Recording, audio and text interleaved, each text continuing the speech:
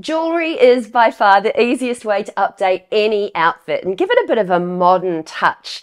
And fortunately for us, there are some fascinating jewelry trends on offer this year, and I'm picking you may not have even heard about some of these.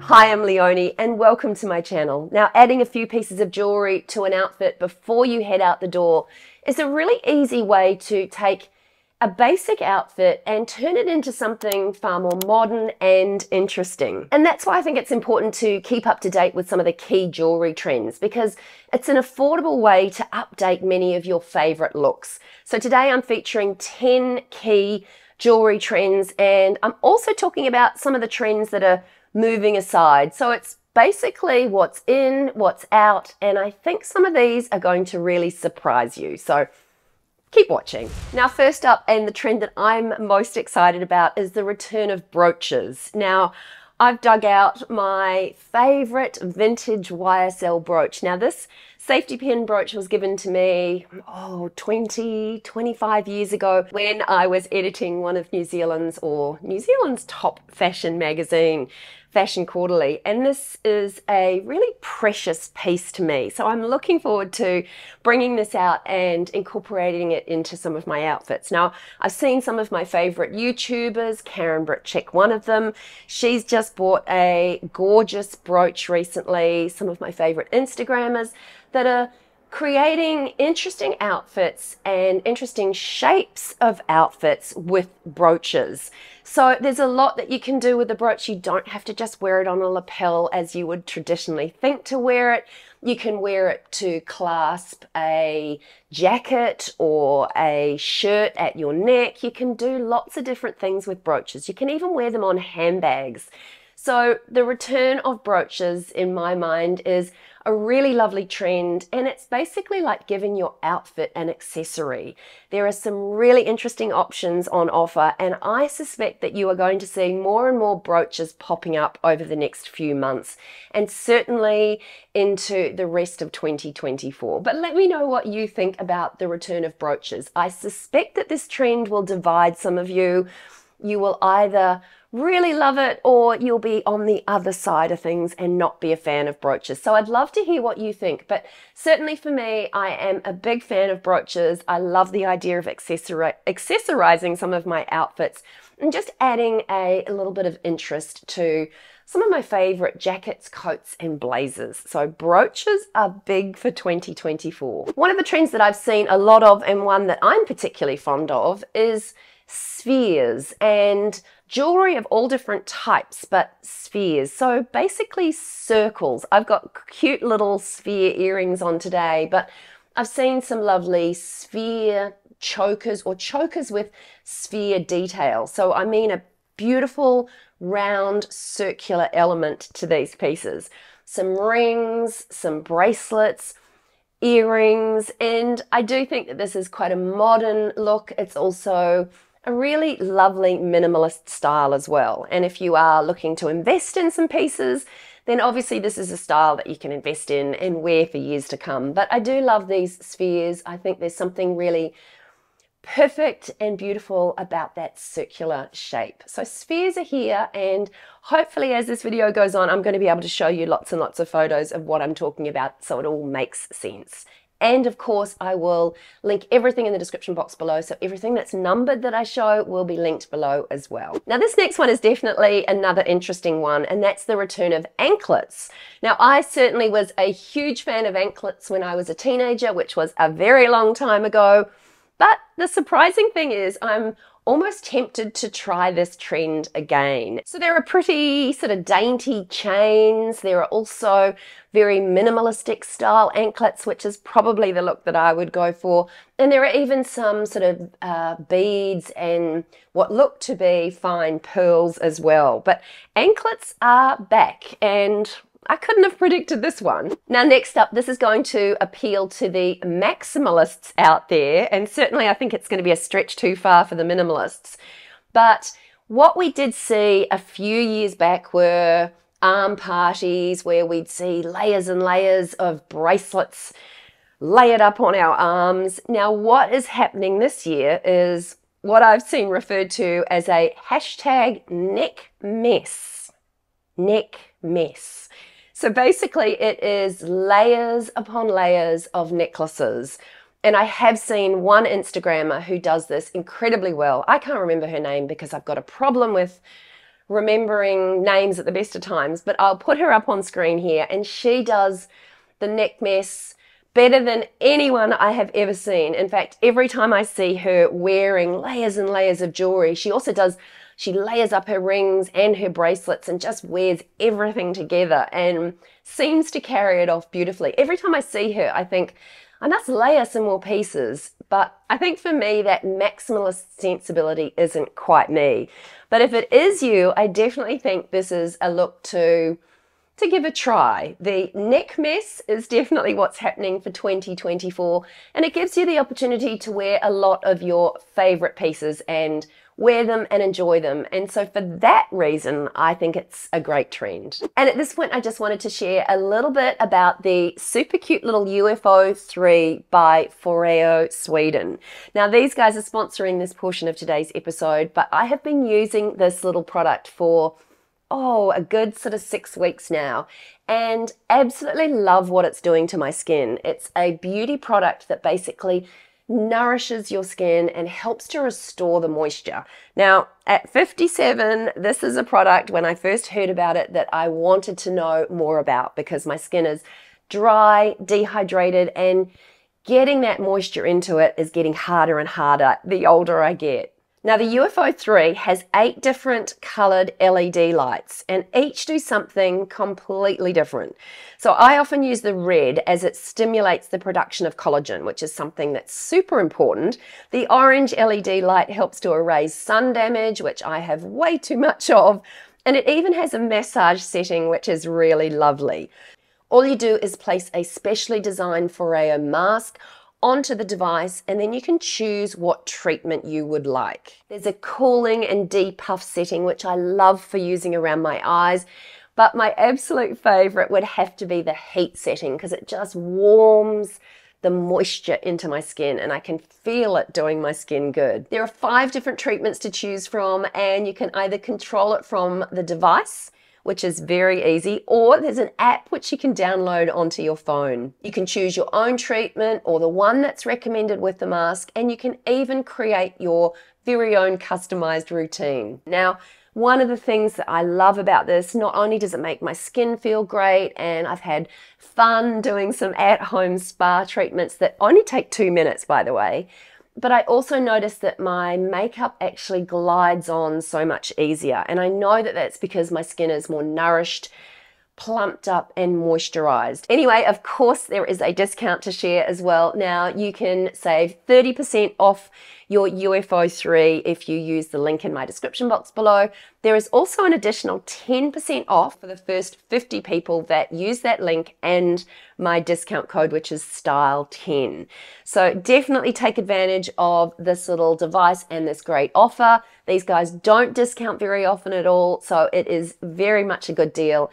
And I love this little product. It also comes with, oh, I have got it here, a cute little stand that you can stand this in your bathroom. It looks super cute. These come in different colors as well.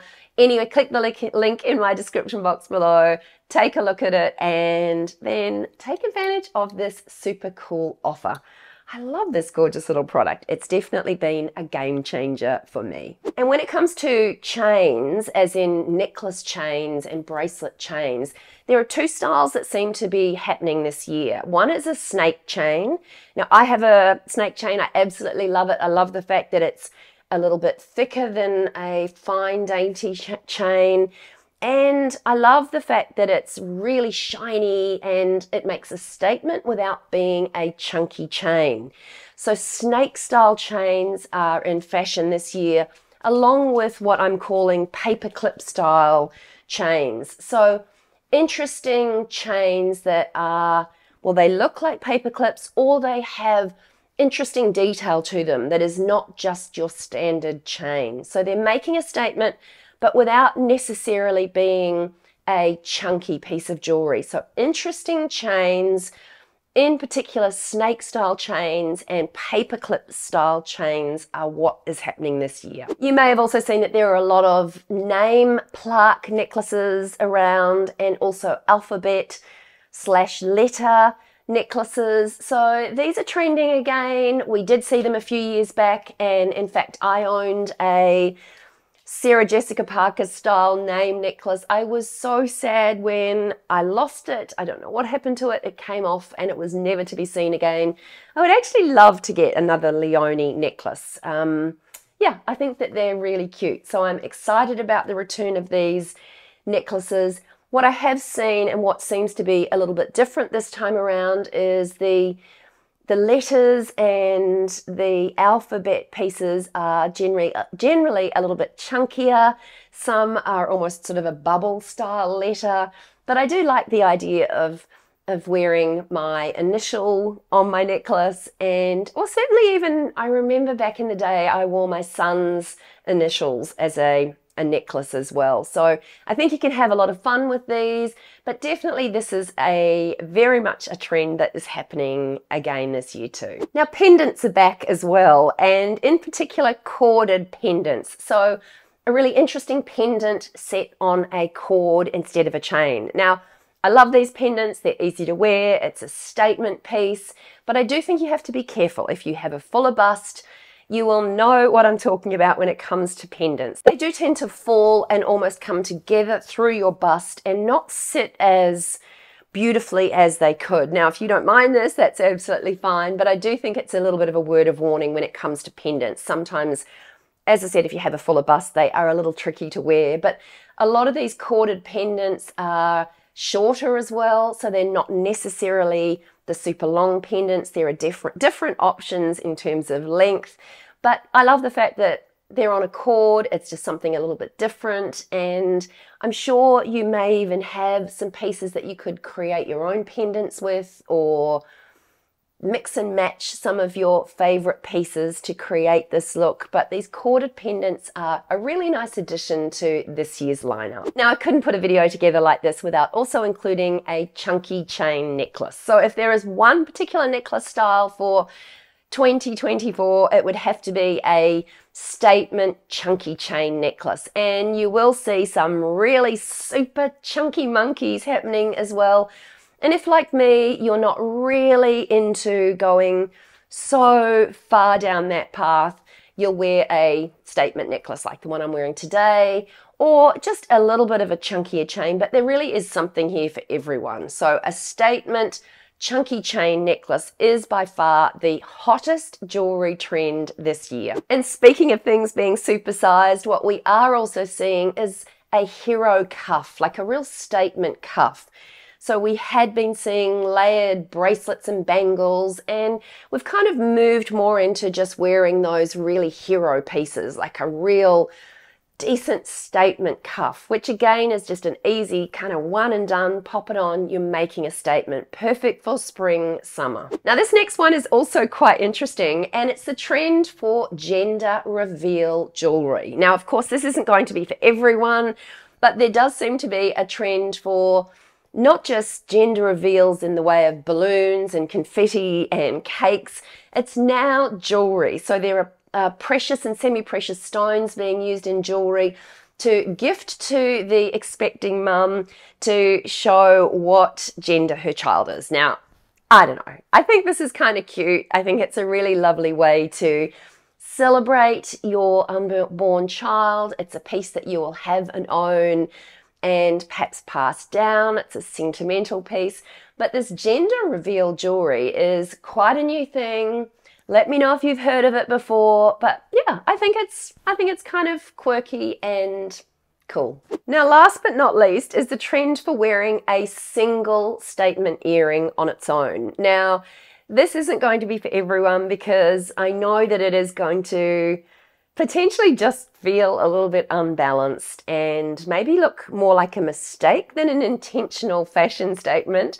But we did see on the runway designers showing their latest collections for spring summer with models wearing one earring. So expect to see that as a trend.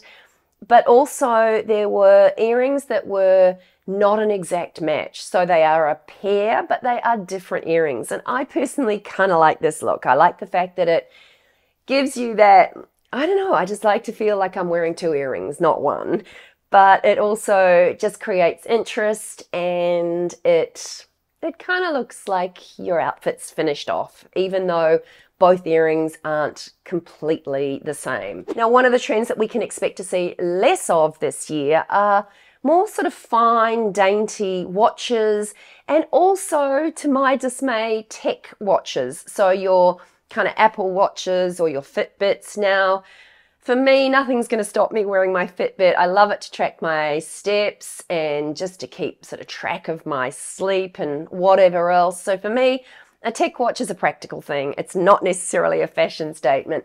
So I'm still going to be wearing mine, but definitely sort of textile watches and fine, dainty, feminine sort of watches are being moved out and replaced with more kind of man style chunky watches. So definitely expect to see more of this kind of chunky, masculine styling when it comes to watches this year. And one of the things that we will see a little less of is delicate stacking with chain bracelets and also chain necklaces. Now, this doesn't mean that we're not going to see it. And of course, if it's a style that you love, then that's great. I personally love it, so I'll still be wearing my delicate necklaces stacked together. But I think in response to our kind of neck mess, we are seeing more statement pieces worn together as opposed to the really fine, dainty pieces that we have seen in the last couple of years. We also started to see charm bracelets reappearing and they've definitely taken a back seat to more bangles and bangles stacked together or as I mentioned, a hero cuff. So cuffs and bangles are definitely replacing the charm bracelets that we've seen over the last couple of seasons. Anyway, that's it from me today. I hope you enjoyed this one, and if you did, I'd love you to give it a big thumbs up.